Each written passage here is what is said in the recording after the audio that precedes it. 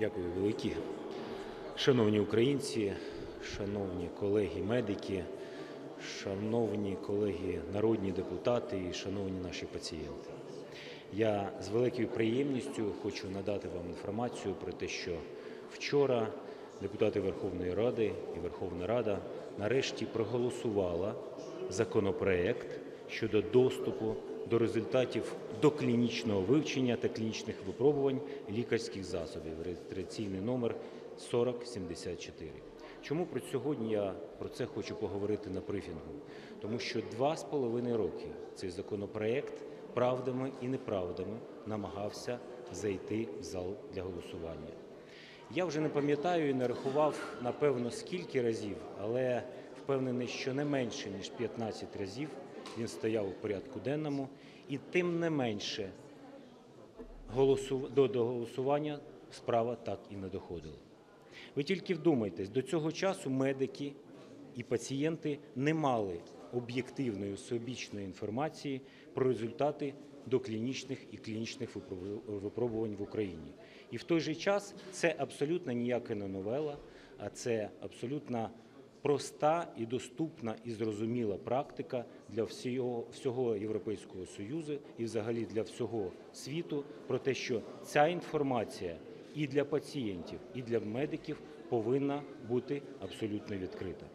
Очевидно, що це створювало підґрунтя для обігу лікарів, е, ліків, вибачаюсь, з недоведеною ефективністю для нашого здоров'я, їх нераціонального застосування, можливої корупції при реєстрації лікарських засобів, а також зрозумілих вигод для бенефіціарів такого прихованого стану речей. Натомість реалізація положень законопроекту дозволить забезпечити прозорість і відкритість у даному процесі відповідно до, до законодавства Європейського Союзу. Прийняттям цього зако- законопроекту, більше того, ми зобов'язали Міністерство охорони здоров'я надавати цю інформацію і оприлюднювати її на своєму офіційному веб-сайті для того, щоб і медики, і професіонали, і всі е, пацієнти, які зацікавлені отримувати цю інформацію, могли безперешкодливо це зробити.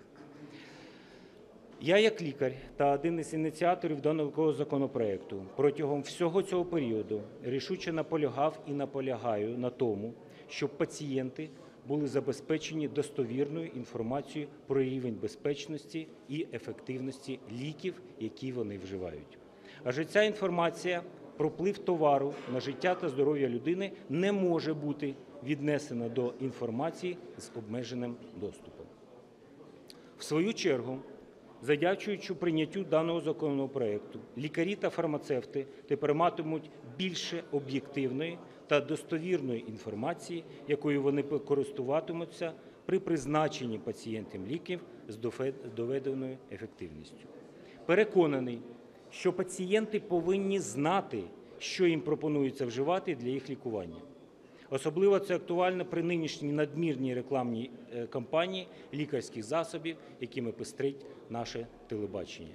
Я впевнений, що вже в цій каденції ми піднімемо це питання, і реалізація наступних кроків щодо забезпечення і поширення інформації про лікарські запит- засоби буде більш об'єктивною, всебічною і правильною.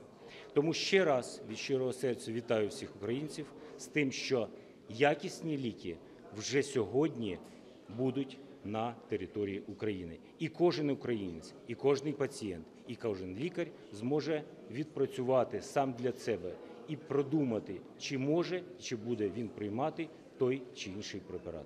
Дякую за увагу.